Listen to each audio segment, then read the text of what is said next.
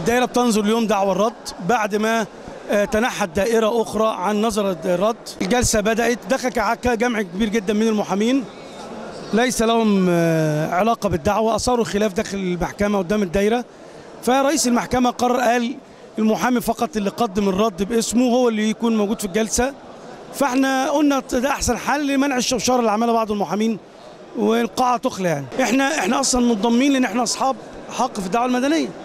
لكن هو في محامين آخرين آه، دخلوا بطريقة تانية ضد دعوة الرد. فوجد إن يحصل خلاف ومشاكل.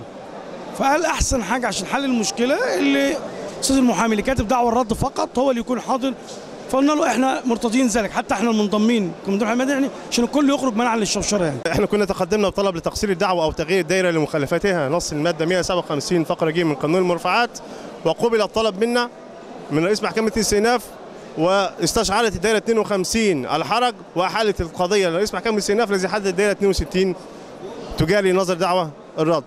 وكل طلبنا أن يفصل في طلب الرد فأقرب فرصة طبقا لنص القانون وألا يتم التسويف لأن هذا التسويف يؤدي إلى الإضرار بمصلحة المدعين بالحق المدني وموكلين والشهداء والمصابين ويضر الاقتصاد القومي والبلد بالكامل. البلبلة دي ما لهاش لازمة خالص. إحنا ضد التطويل الحاصل بسبب هذا الطلب.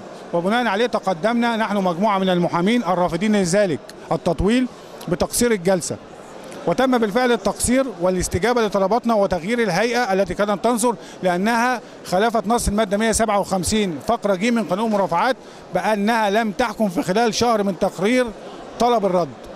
وبالتالي تم تحديد تقصير الجلسة. من 26 12 لجلسة اليوم 3 11 ود- ودخلنا داخل القاعة ل- لكي نثبت حضورنا في ذلك.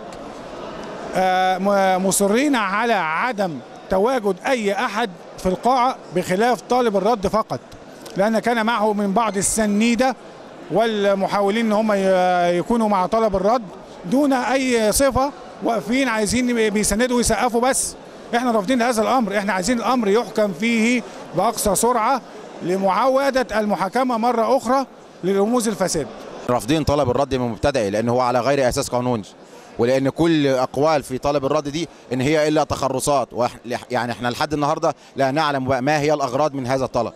يعني كنا نقول أن الأغراض أغراض انتخابية إنما تجاوز الأمر حدود الانتخابات. أصبح الأمر الغرض منه فقط تعطيل الفصل في الدعوة. الأمر إمادة التقاضي. يعني يعني يعني إطالة أمد التقاضي. ليه؟ لصالح من؟ المستفيدين الوحيدين فقط في القضية كده من إطالة أمد التقاضي المتهمين. المستشار أحمد رفعت لا يتمتع بالحيادية في القضية. نقول له اتق الله اتق الله في مصر وفي شعب مصر فإن الله إن حسني مبارك لن يمنعك من الله ولكن الله سيمنعك من حسني مبارك.